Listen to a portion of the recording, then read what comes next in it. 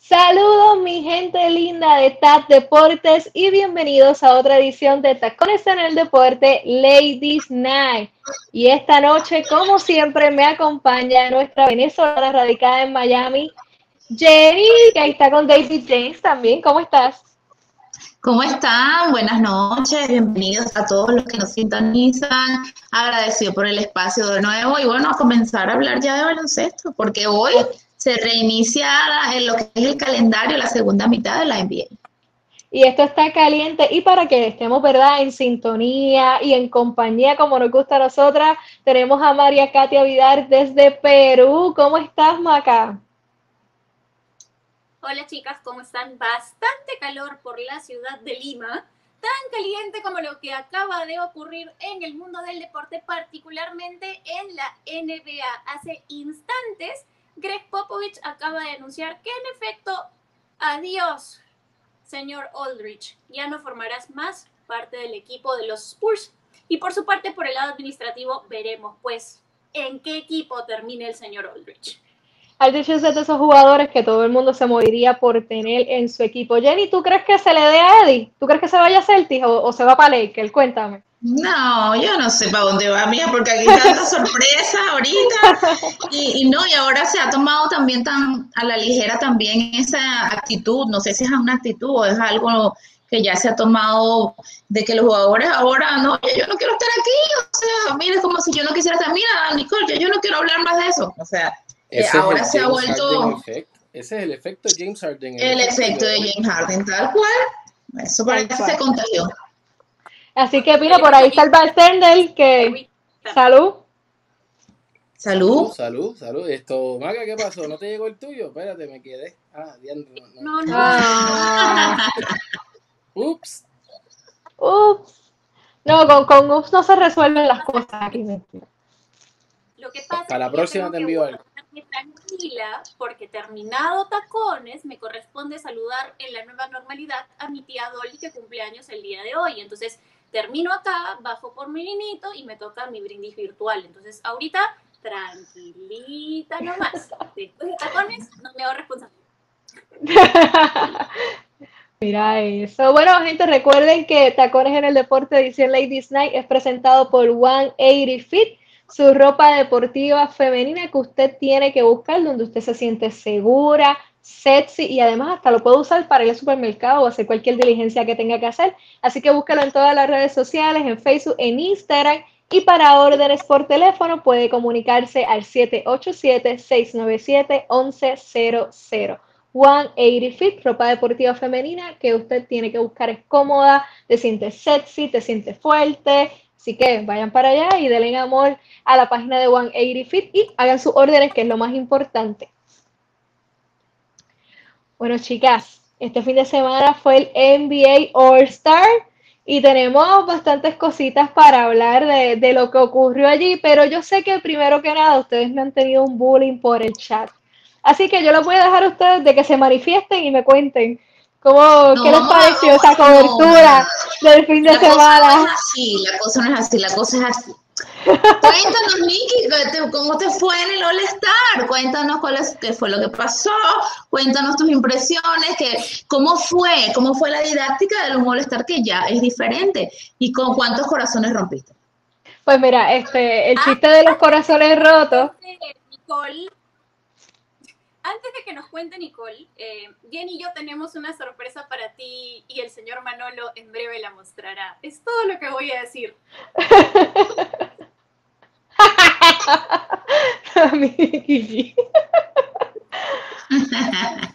bueno, chicas, ustedes saben que yo cada vez que entro me dan la oportunidad de hacerle una pregunta a un jugador de, de la NBA y ahora que estamos así por Zoom, pues yo intento ser personal. ¿Verdad? Yo siempre empiezo, hi, o hola, ¿cómo estás? Y me sonrío. Y pues resulta que, que tomo, ¿verdad? Estas caritas tan bonitas como la del señor Luca Doncic y, y otras por ahí.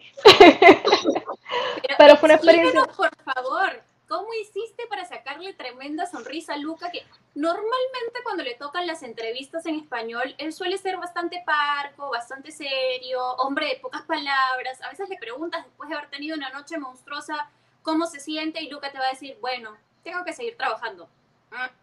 En cambio, llegó el All-Star, llega la señorita Gerena y le pregunta a Luka Doncic y Luka Doncic. Bueno, porque esto es, mira así. Hola, ¿cómo estás?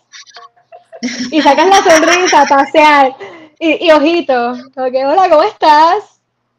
Y pues así uno conecta con la gente. Oye, estamos trabajando desde la distancia, ellos están en un cuarto frío de hotel, no están ni tan siquiera en una cancha, todas las entrevistas fueron desde sus cuartos.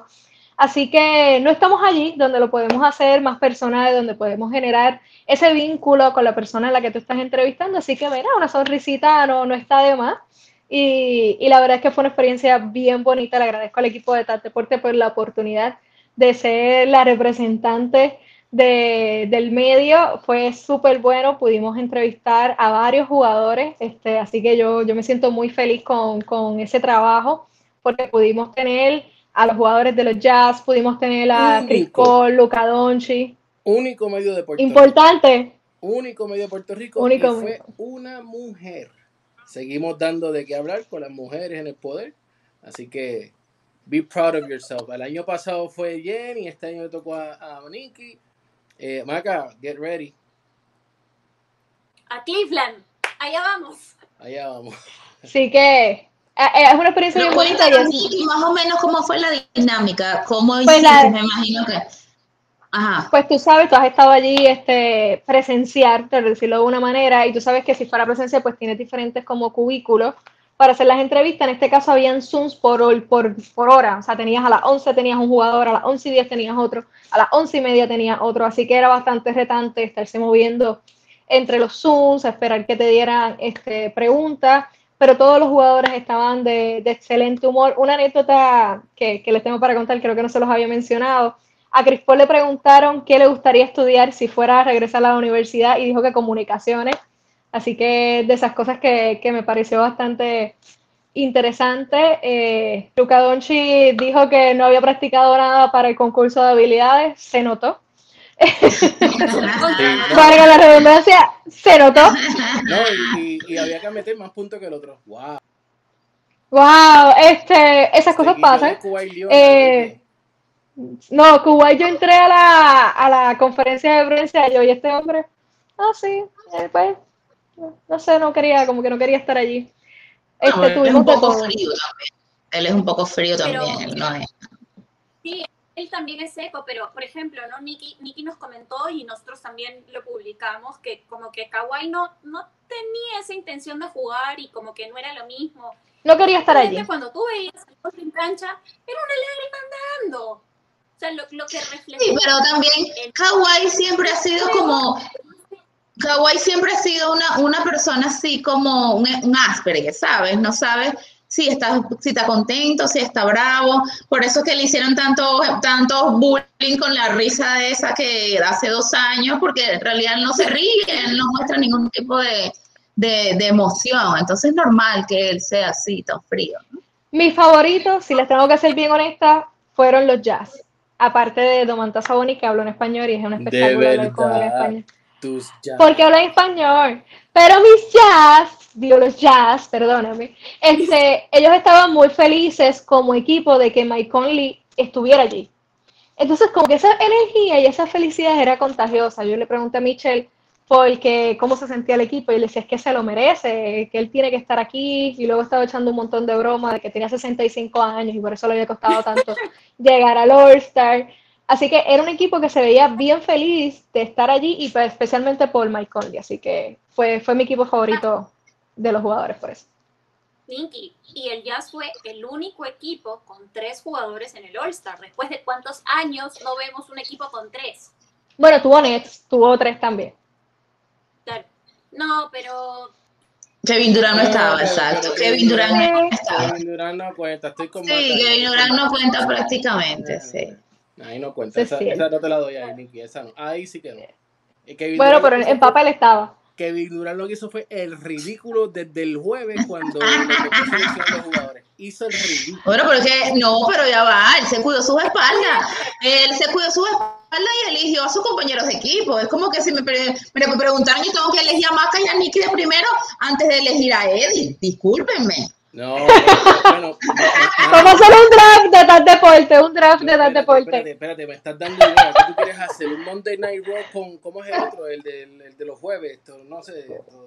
Yo no sé mucho lucha libre, pero hay uno los lunes y otro los jueves.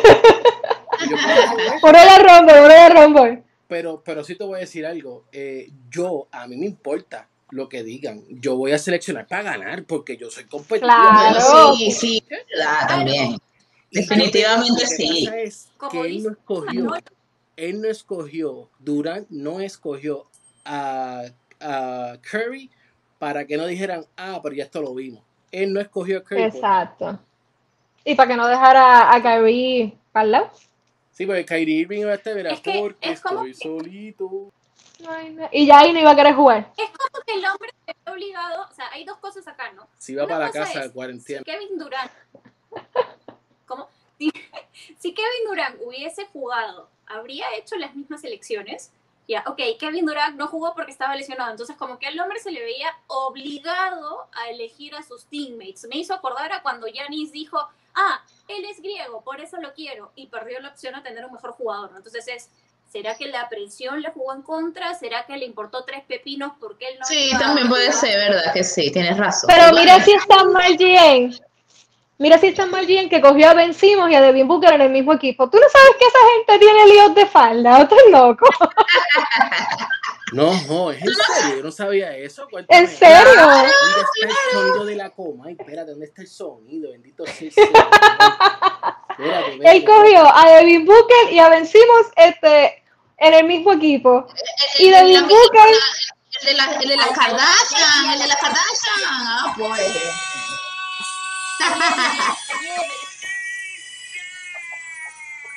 Siempre Gracias Si a Dios, no hubo. llega hasta Jordan Clarkson y Blake Griffin para escogerlo, los ponía también. No, que estén también. todos juntos. No, Oh. pero lo que él quería hacer era la reunión de despido de- del farewell de, de, Karda- de Kardashians. De Jenner, de Jenner. Así estaba. La maldición se suponía que era Kardashian, ¿no? Pero como ahora tenemos esta generación con, con Kendall y con Kylie, que son las Jenner. Jenner Kardashian, Sí, no, pero son Kardashian, esas entran en la misma bolsa. continúa la maldición, no continúa la maldición, entran en el saco de, de, de Chloe y Kim, o sea, ¿cómo, ¿cómo me ubico yo acá en el tiempo y en el espacio? Bueno, cuando Es lo lo- mismo. Es lo mismo, sí, es lo mismo. es lo mismo.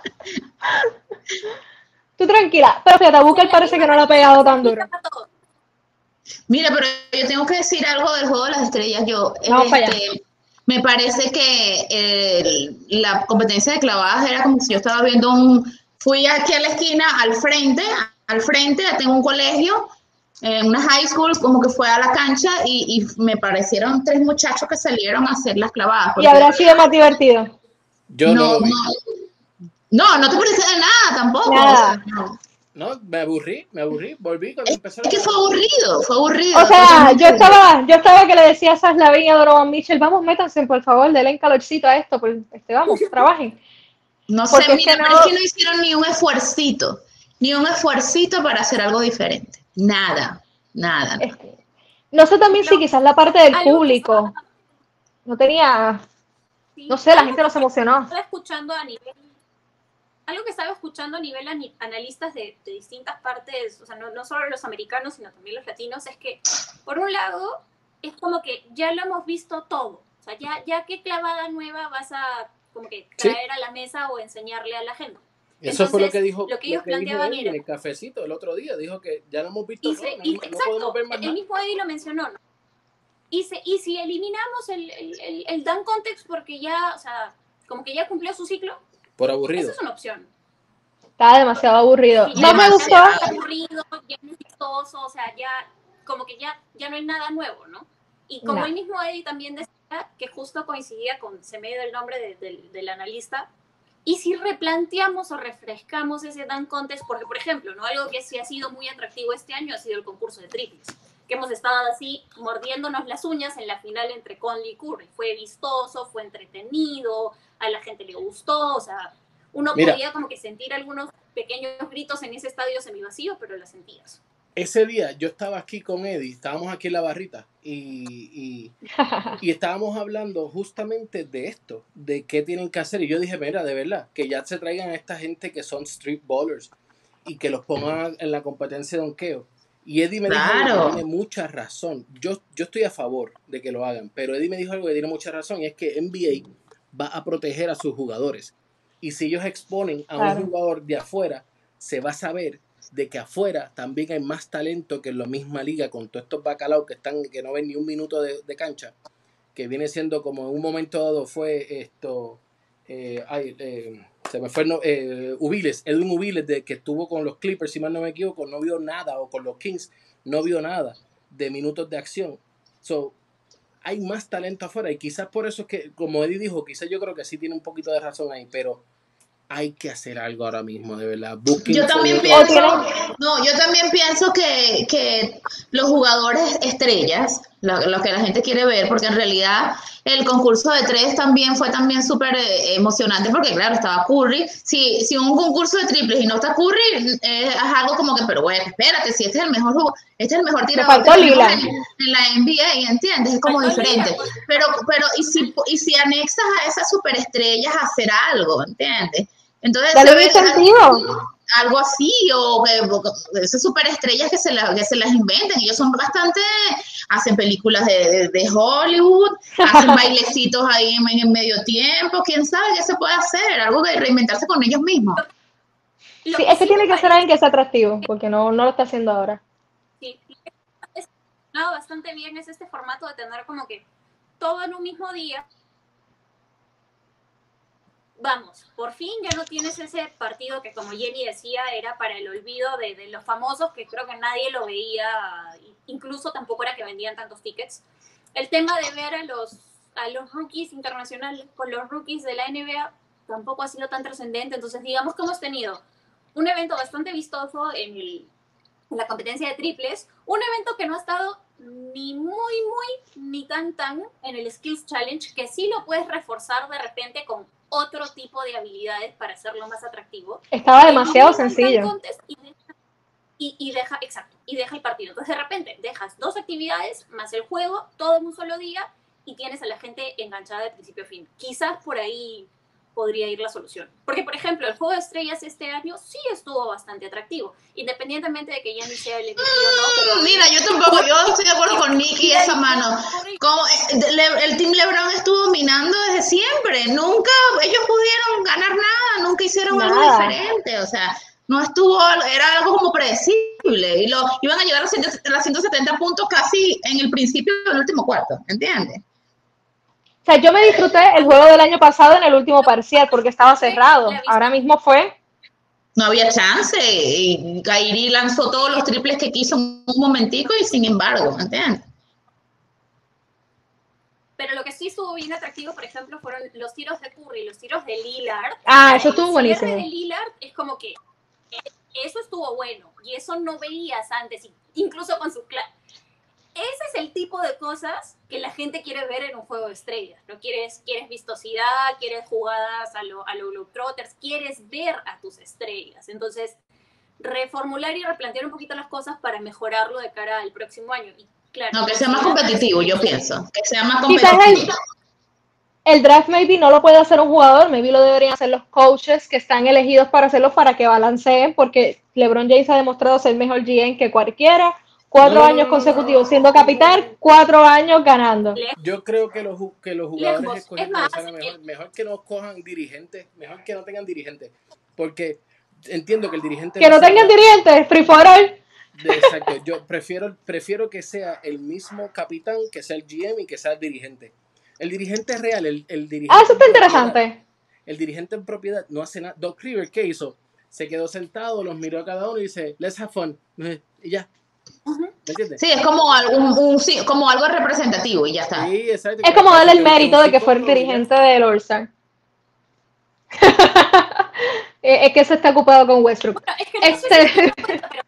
cuando hablamos de los, ¿Se acuerdan de cuando hablamos del Coach of the Month? Que no me acuerdo si fue en el mes de febrero o en el mes fue de Snyder. Justamente hablábamos de Tim Snyder y de Doc Rivers. Entonces es como que, ah, ok, han sido consecuentes porque como son los técnicos que mejor les está yendo, ok, les damos la oportunidad de que vayan al All-Star. Pero no sé, quizás algún tipo de combinación para que los equipos sean más balanceados, porque acuérdense que cuando era East versus West tampoco había balance porque lo fuerte siempre había estado en el, en el oeste. Está complicado. pero entonces, chicas... Hacerlo un poquito más competitivo, pero que no pierda esa cuota de vistoso que sí hemos tenido este año. Sí, le, hace falta más vistosidad. Fue más vistoso el año pasado. Este año fue medio flojito, todo flojito.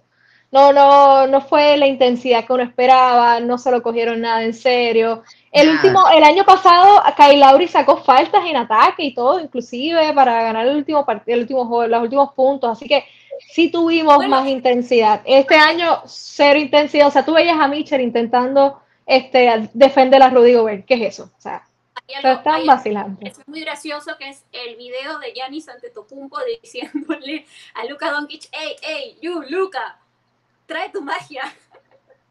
Porque Lucas estaba paseando. bueno, chicas. Y de pronto voltea y mira el equipo y me dio demasiada risa porque parecía Giannis el GM que volteó, los miró y les dijo, ya pues, defiendan. Sí, es que no van a defender. Pero alguien que no tuvo break ni de defender ni de jugar, solamente se fueron a recortar y no pasó más nada. Fueron Ben Simmons y Joel Embiid. Que nada, la liga debe invertir en cursos de barbería para todos los jugadores, porque esto de que vayan a una barbería, cojan COVID o cojan contacto con alguien que está teniendo COVID es un problema. Joel Embiid y, y Ben fueron anunciados el mismo día de que no jugarían minutos antes de que comenzaran las conferencias de prensa. Y Thor River afirmó que esto es un problema de cara a la segunda parte de la temporada, que es la más importante, porque no es que falten el juego de estrella, mi gente, es que qué va a suceder si esto es una constante de cara a la segunda mitad de la temporada y de cara a unos playoffs que sabemos que no van a perdonar. Si tú ahora mismo eres Filadelfia, primer equipo del este, y tienes un problema como, como el que están teniendo, de que sus dos estrellas ahora mismo están por contra Tracy, y te toca enfrentarte a los Nets, la tienes sucio, difícil. ¿Qué, qué tú crees de esta situación, Jenny? No, eso me, no, no, el mismo barbero, las dos personas. No, no entendí, o sea, eh, no, no, hay dinero como para que el barbero, o el barbero, yo lo que no entendí, el barbero fue a donde ellos estaban y los recortó, o ellos fueron a donde estaba el barbero. O sea, yo no, yo no entendí esto, a mí me dio vergüenza. Eh, y tanto, eh, eh, yo también lo pensé así como que, bueno, sí, estamos viviendo otros tiempos diferentes, ahora estas cosas son... Fíjate que Raptor anunció también que tiene una serie de jugadores que no los van a, no los van a sacar porque están en, este mismo, en esta misma situación del COVID, pero yo pienso que si viene el juego de estrellas, ¿verdad? Modilla, tú te vas a ir a recortar, o sea, no sé, querías ir más eh, con un look nuevo para el juego de estrellas, no, sé, de verdad, me pareció como una, irresponsabilidad por parte de los jugadores, pero bueno, pasó y no, no, ya no se puede jugar, pasó y hay que evitar, tratar de evitar ese tipo de situación. ¿Cómo crees que esto puede afectar a Filadelfia de cara a la segunda mitad de temporada? Lo importante no, no, sigue, continúa, Maca. Sí, perdonen, estoy con un poco de lagueo, entonces las voy escuchando por partes y cucharadas. Les decía que eh, posiblemente mañana, si los dos continúan dando negativo, por lo menos uno de ellos regrese. Y también le daba la razón a Nicky en que en el último juego de Filadelfia, previo al break, Doc Rivers ya mostraba la preocupación de qué iba a hacer con el calendario que le quedaba para mantener a sus equipos saludables. Y esto también te lleva a la pregunta que posiblemente Nicky haber estado escuchando bastante fuerte, es ¿qué posibilidad hay de que los jugadores puedan ser vacunados y recibir sus dos dosis para eventualmente eliminar el tema del contact tracing? Ejemplo, eh, si Ben Simmons recibe sus dos dosis de vacunas y vuelve a ocurrir este asunto del barbero, ya no tendría que entrar dentro de estos protocolos de salud y salubridad de la liga porque digamos que ya está inmunizado.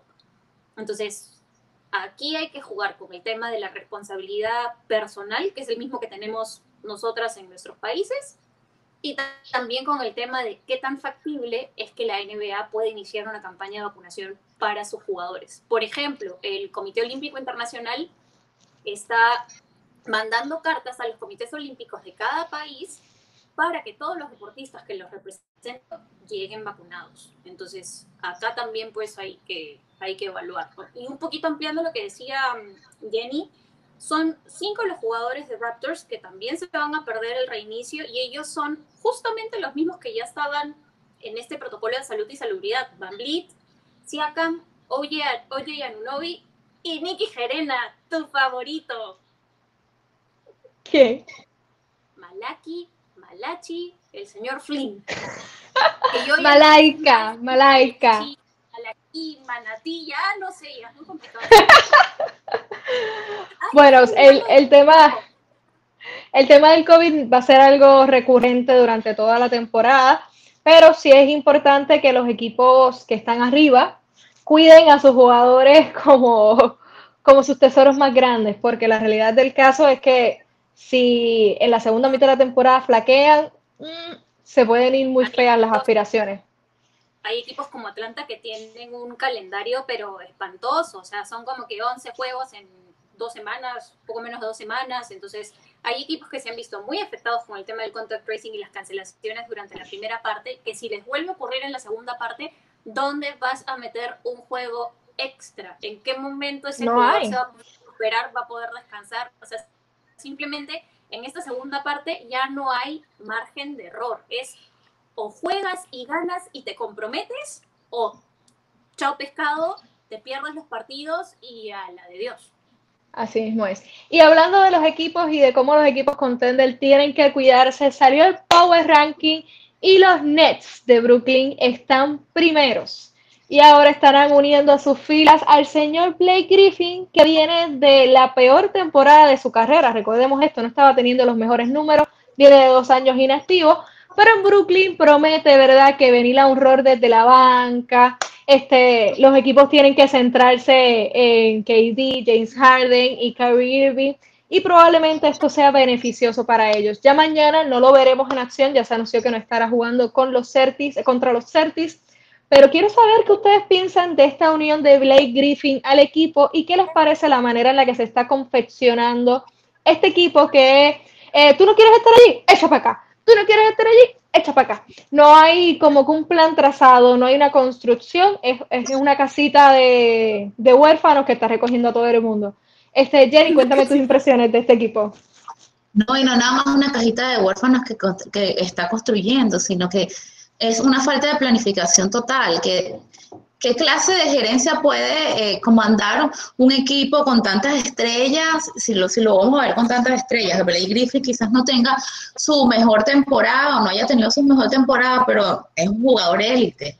Es un jugador que, que, que, en cualquier otro equipo serviría como un, como un líder o como un, un una capacidad ofensiva importante. Entonces, ¿Qué es, lo que, ¿Qué es lo que se quiere? Yo por lo menos cuando estábamos hablando eh, en, el chat de, de, baloncesto, que él decía, que eh, Oscar preguntaba, mira, pero ¿esto funcionará o no funcionará? Yo le digo, póngale contexto en un 5 abridor, ponte a Blake Griffin un 5 abridor y eh, analiza si es verdad que él encaja allí o simplemente lo están poniendo ahí como para, necesitamos a alguien que agarre los rebotes o necesitamos a alguien que estorbe, como yo le digo a los, a los jugadores que son pesados, eh, alguien que estorbe en la pintura, ¿sabe?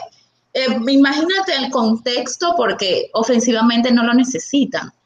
Entonces, es defensa lo que necesitan es defensa lo que necesita, él no es tampoco tan buen defensor, pero ese es el contexto que hay que plantearse. ¿De verdad este equipo o esta gerencia de los Nets se plantea una estructura que se sientan a ver qué les falta y qué no les falta o, o nada más ¿Cuál es el que está en el mercado? El más caro, por favor. El que tenga más dinero y el más popular. Ese es el que me voy a traer.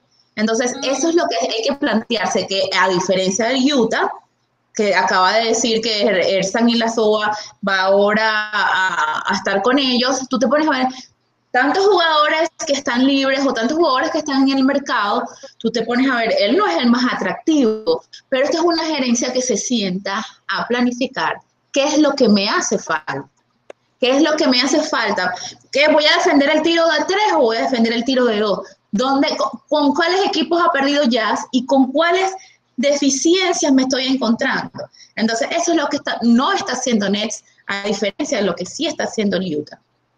Sí, Utah está siendo exquisito en sugerencia. Pero Maca, quiero saber qué piensas de la casita de huérfanos de los Nets. Por un lado estoy de acuerdo con Jenny, pero por otro lado, por ejemplo, ¿no? Ya anunciaron que Blake Griffin no va a ser un starter, o sea, su rol es llegar desde la banca y aportar desde la banca e intentar liderar esa segunda unidad. Pero va a cerrar partidos. O sea, va a estar en ese quinteto que cierra. No necesariamente. No necesariamente. De cuatro, de Andre de cinco y tampoco no sabemos si va a ser un 5. O sea, no, no, es, no estamos seguras de cuál exactamente puede ser su función, porque supongamos que lo ponen en un momento en el que tienes a Harden, tienes a Irving y tienes a KD en el campo. Los equipos se van a ir a marcarlos a ellos tres y van a dejar libre a quién? A Blake Griffin. Entonces tu opción de tiro será él. Será él por los minutos que lo necesites, en el tiempo que lo necesites, o lo harás jugar eventualmente si alguna de tus otras tres estrellas se te cae. Entonces, acá es como que, por un lado, puede que funcione, por el otro lado, puede que sea un desastre. Ahora, hay un tema que es el factor emocional, el hecho de que, por ejemplo, ¿no? Nunca se sintió cómodo en Detroit, los números avalan que tampoco se sintió cómodo, encima se lesionó. O sea, para él ha sido muy duro superar el hecho de salir de, salir de los Clippers. Y ahora que de buenas a primeras hace un contrato mínimo, porque no, no va a ganar la millonada que estaba ganando, o sea, está en el contrato más pequeño, en el contrato más tela, como decimos acá en, en Perú, tela es una cosa así muy pequeñita, entonces está con un contrato chiquito, ¿Por qué? Porque se va a encontrar con uno de sus grandes amigos, entonces eso también es como que te hace sentir especial, te puede ayudar a crear química, a conocer a los demás, entonces por ejemplo, ¿no? situaciones importantes, las que veremos en abril y en mayo. Este 15 de marzo tenemos un juego clave contra los Knicks. ¿Por qué mencioné el mes de abril? Porque los, porque los Lakers y los Nets se van a enfrentar. También en abril, así el 14, se verán contra los Sixers. Entonces, aquí podremos ver cuál va a ser su lugar en esta rotación. Sí es cierto que los Nets no defienden, pero también es cierto que el señor Griffin no llegó ni para ser estrella, ni para ser titular, ni le están pagando la millonada del siglo. Simplemente está llegando para reforzar un equipo que ha tenido bajas por temas de salud y nada más. O sea, su yo llegué a pensar que había... va a ser limitado, no yo... digamos, wow. Yo llegué a pensar que habían puesto al hermano de Blake Griffin a jugar por lo malo que estaba jugando, al gemelo del... Él estaba jugando malísimo en Detroit. O sea, para mí que él va a venir a cerrar el, el, el partido jugando la 4, Diandre la 5, KD la 3, Harden la 1, Irving la 2. También estoy de acuerdo. eso eso siento que es lo que va a terminar cuando se cierre un partido. Para mí va a ser un híbrido porque tener a Y va a tener momentos en el que va a ser el centro del smart ball. Sí, porque tener a DeAndre Jordan en momentos importantes ahí no es, no es negocio porque falla mucho tiro libre. Eso es cierto. Exacto. Por eso, eso es lo que cuando uno analiza estos tipos de equipos, eh, por eso es que uno cuando analiza este tipo de equipos no lo escucha por nombre, sino que de verdad Blake Griffith es lo que necesita el equipo de Nets con la deficiencia que podría tener, o por ellos, ellos por supuesto con esta adquisición ellos van por un anillo. Esto no es un equipo que, bueno, vamos a, tenemos una, vamos a traernos a Yasoba porque es que no, no tenemos un tirador y nos falta experiencia. No, ellos tienen, ellos van por un anillo, pero en realidad es lo que es la deficiencia que tiene Nets, la va a cubrir Blake Griffith, eso es lo que hay que preguntarse. Y la respuesta es que no. Queda claro que lo que están haciendo es priorizar 100% su ofensiva. O sea, queda, queda claro. ¿Cómo vas a priorizar tu ofensiva teniendo tres bestias que promedian 30 puntos por partido? Ahí la ofensiva no tienes que ni siquiera buscarla. O sea. Aquí la pregunta es si, si ganará por primera vez un equipo que sea top 5 en ofensiva, pero número 26 en defensa. Porque podría ser que sea la primera vez en la historia de la NBA que gane un equipo que no tenga defensa, que su juego se basa en que yo meto más puntos que el otro equipo estilo Luka Doncic y sus declaraciones para el All-Star, que tiene sentido en un All-Star, pero no tiene sentido en una final de la NBA el mejor baloncesto del mundo. está citando al gran prócer de Luka Doncic. ¿Cómo, cómo? Que Nicky está citando a ese prócer eh, de, de Dallas Doncic. Recuerden No. que cuando vayan a entrevistarlo, menciona, lo que ella menciona tiene sentido. Fíjate que para, lo que pasa es que hay, hay que hacer varios análisis. Hay, cuando, tú, cuando tú entras en las apuestas, las apuestas también se juega y también se gana y se pierde, y también se ven muchas cosas que no sabemos lo que estamos ahí viendo el básquet todo el día, ¿no? Pero en las apuestas, el equipo que más anota puntos, más anota puntos, quiere decir que todas las noches mm, pasan los 120 puntos, es el equipo de los Pelicans, no es el equipo de los Knicks. Entonces ahí está el problema ofensivo que tú dijeras, sí, ellos se van a anotar los, ellos se van por los números y van a anotar 130 puntos todas las noches. No, eso, eso no va a existir en el equipo de Knicks. Entonces, ahí es cuando tú ves, este equipo va de verdad va a ser, eh, va a ser el campeón de la conferencia del este, pero yo no sé. Ojalá. yo creo que con Filadelfia la tienen bien difícil. Porque nada más se habla del equipo de Next casi que semanalmente. Ojalá tengamos aquí, nos, nos dejen ponchadas a todas y, y, se, nos, nos callen la boca y sean los campeones este año. No, si se valió la pena todas esas adquisiciones que hicieron. Porque ahí estaba también de, André Drummond, eh, también lo estaban anunciando que iban a traer. Yo decía, bueno, yo no sé qué están haciendo esta gente. ¿Dónde van a meter tanta gente aquí? No, no. No, no, no creo. Dudo que se refuercen más, pero ¿sabes de quién nos hemos olvidado que está ahí al ladito de Nash? El señor D'Antoni, el rey del small ball. El señor D'Antoni, ¿qué cosa hacía con los Houston Rockets? Atacar, atacar. No ganaron, atacar. no ganaron. No ganaron, y no, es que se debió pura anotar, eso es lo que le gusta. Pero fue buen psicólogo, ¿oíste? Fue buen psicólogo. En Houston, fue buen psicólogo. Ah, bueno, pues claro, pero. Bueno, pero yo no necesito un en buen psicólogo, yo necesito que gane partido. No, exacto. Hay que ver si los psicólogos también ganan partidos o ganan o, o ganan. Ganan partidos importantes, importantes, claro. El, el playoff para pasar el, el campeonato. Bueno, chicas, pero aquí hay, una- hay un gran contraste y lo dijo Jenny y, me, y quiero una declaración, ¿verdad? Este, pequeña de, de Maca sobre esto. La diferencia contra Utah, que es el mejor equipo de la NBA, y cómo está construido. Vemos que Utah llevan años con este mismo estilo de juego, defensa, siempre han sido un equipo consistente en defensa y buscar mover el balón para que tiren el triple. Inclusive, muchos jugadores que han salido de su rotación en los últimos años han salido precisamente porque no son consistentes encestando o el triple o, o ese tiro de mid-range que es el que están buscando cuando ponen a Gobert en el medio. Así que vemos una planificación en este equipo versus lo que no, no vemos con los Nets. Así que la pregunta es, lo que. ¿qué, qué ustedes Es un prefieren, chicas? 27-9 en el récord de Utah. Es un 27-9 en el récord de Utah. Y claro, aquí hay quienes dicen, no ha habido nada extraño en el éxito de Utah en la primera mitad.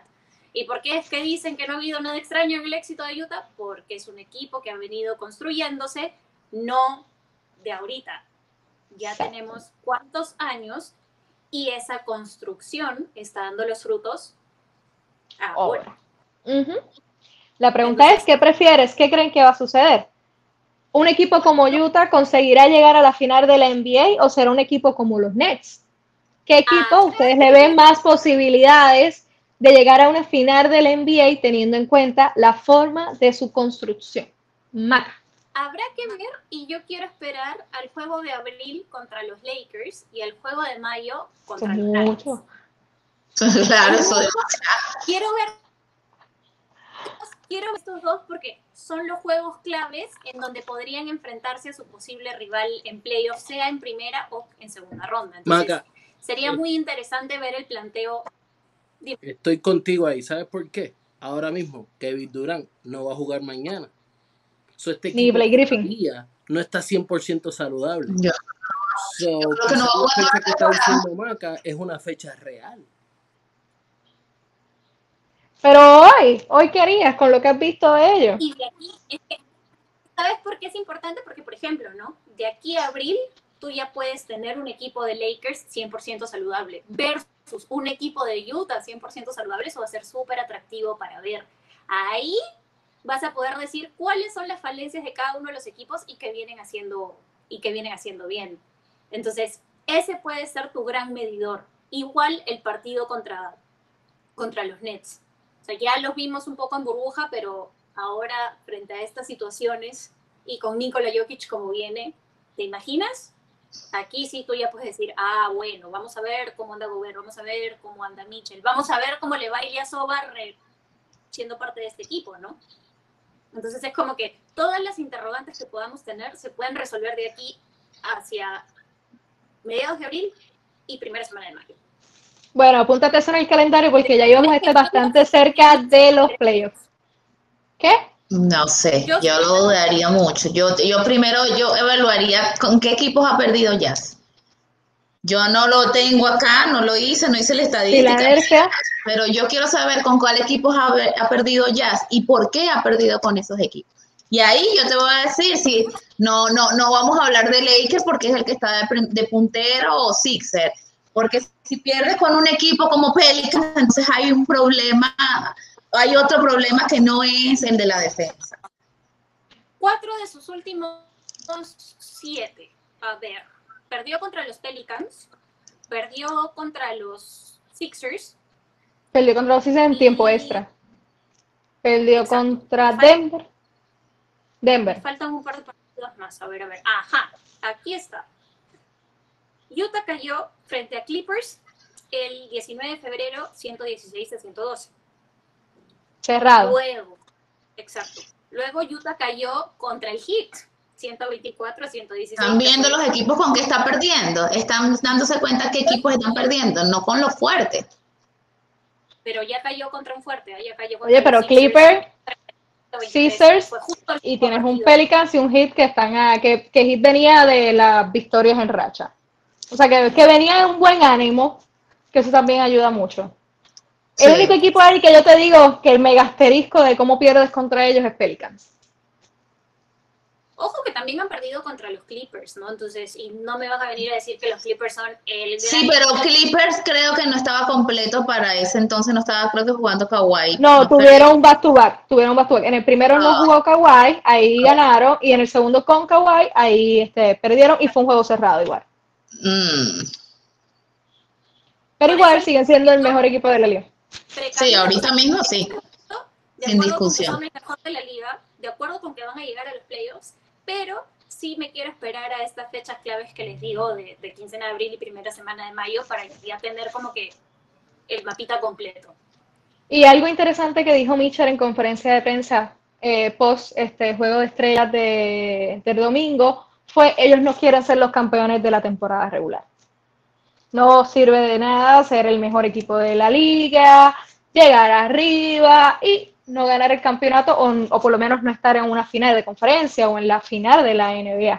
Así que yo creo que es un equipo que está bastante centrado en lo que está buscando. No, y después, no, y después, de lo que le ha hecho Shaquille a, Donovan y después de lo que LeBron habló que él no escogería un equipo de jazz, ¿sabes? Hay como un pique ahí de... de, Hay piquecito, hay piquecito. ¿Es motivación? Yo te voy a demostrar que nosotros sí vamos a ganar. Hay motivación. Claro. Yo, no, debo darle por primera vez en mi vida la razón a LeBron James porque sí fue una broma y sí es cierto. Si tú eres un fan del 2K, ¿vas a escoger a Utah como tu equipo principal o vas a escoger a unos Lakers, a un... Pero es que no era un 2K. Cogieron, o sea, ¿cómo tú me dices necesito necesito size? ¿Cómo tú dices necesito size? Tienes a Lebron en su broma citó el Duque. Si, si escuchan completo el extracto en inglés.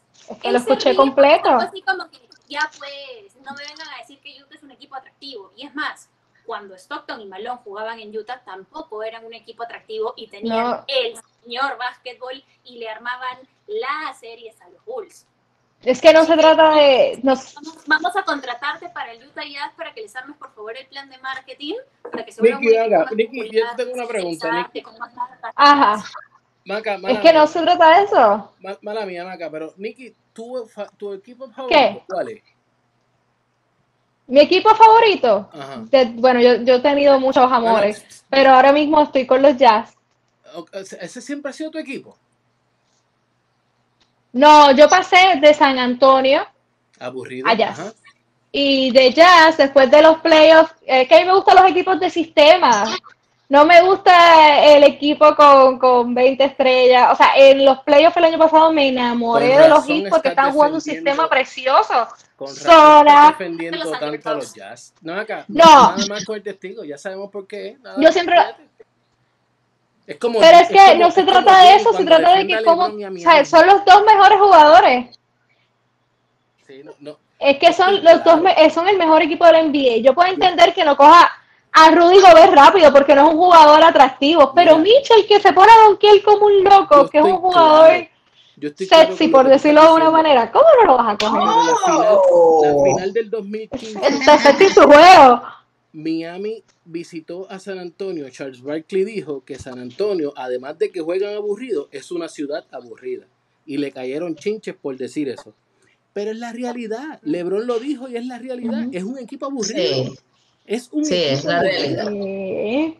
Pero eso motiva a tu pero eso motiva al equipo a ganar. Esa es la pregunta. le, le pusieron un chip on their shoulder. Ahora quieren ganar Ay, para demostrar que son los mejores. Y le van a ganar a los fakers de Jenny Torres. He dicho. Y eso, y eso va a depender mucho de cómo esté la salud de Anthony Davis. Porque si Anthony Davis está patinando, Margasol Sí. no está haciendo el trabajo. Está, sí, eso está bien difícil sin Anthony Davis. Si, Anthony, si, llegamos a una final de conferencia, Lakers, Utah, y Anthony Davis no está saludable, está difícil para los Lakers. Sí. Y esa es la No, y, y también Dennis Schroeder también cumple un papel importante. Este, si ustedes se ponen a ver, no es cuestión, es cuestión de verlo, ¿no? Es cuestión de que Laker, la contratación que ha hecho Lakers para este año son puros jugadores inteligentes. Es decir, si ya yo no tengo a, Rondo, que es un jugador que me hace el trabajo de- del manejo del balón y me lanza los triples y ya no puedo contar con él, me busco un jugador similar, pero que tenga, que tenga 20 años menos, que pueda correr más. ¿Entiendes? Esa es la función de un equipo inteligente. Eso es lo que pasa con el equipo de Lakers, con el equipo. Yo no, ya yo no voy a comparar más a los Nets con ningún equipo.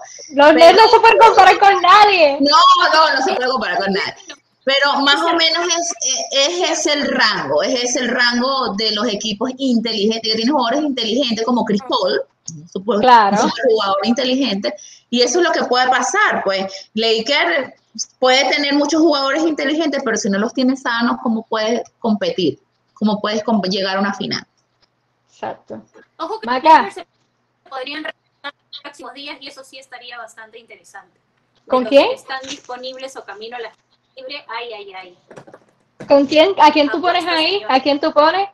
¿Cuál es tu apuesta? ¿Quién llega a reforzar los Lakers? ¿Quién que va A Warriors. Esa es la Macaba por Warriors y Curry hasta la muerte. Y Warriors, acá salió una noticia de que el GM va seriamente, no quiere picks, Mm-mm. quiere competir. Es que Ah, bueno. En la, en la última entrevista que le, sí fui yo, claro, en la última entrevista que yo le hice a Kerr, él dijo que ellos no querían irse por el play-in. Si estaba en sus manos clasificar dentro de los seis primeros, lo iban a hacer. Porque acuérdense que ahora el 7, el 8, el 9 y el 10 se van Se tienen ir. que matar. Entonces, Ujú. ellos no iban, o sea, al menos Kerr no iba a escatimar esfuerzos en tratar de armar a sus mejores equipos para que los Warriors puedan subir.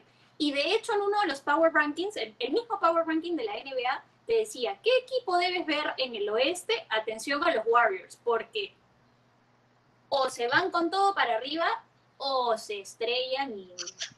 Vamos a ver si se le da el señor Manolo y se va a KP para allá. Vamos a ver. Estamos orando. Tengo varias velas aquí encendidas para eso.